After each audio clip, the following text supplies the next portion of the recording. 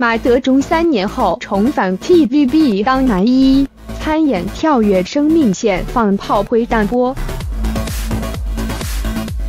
自从 TVB 去年年中再次开设星期日晚报剧时段后，除了第一波播出的《踩过界》反应良好之外，其后紧接播出的剧集，例如《幸在友情》及《杂警奇兵》，外界的反应都是麻麻。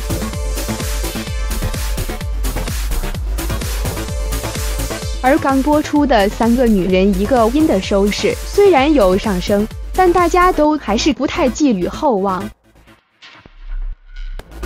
今日就有只接住播出的，就有《跳跃生命线》。该剧除了有刘佩月做女一，男主角更是相隔三年再度重返 TVB 的马德钟参演。不少网友都话好可惜，马神难得返 TVB 拍剧，竟然会遇着星期日被外界称为的炮灰档。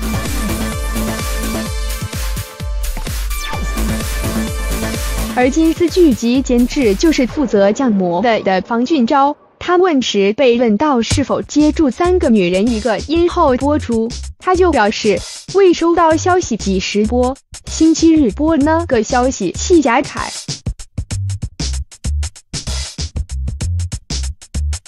提到难得马神拍剧，是否都希望可以放反在星期一至五的黄金时段播放？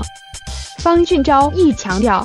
都系要等公司安排，韩我当然希望可以系一至五播，同埋最好系今年内。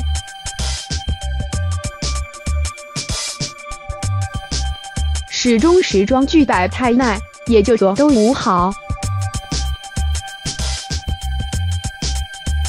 在早前，一牛至动人的时光将同样在星期日晚播出，但现在就安排在下月十六日逢星期一至五播出。紧接果篮中的江湖大嫂播放，剧中有袁伟豪同金姐是后堂师用，大家不用那么失望。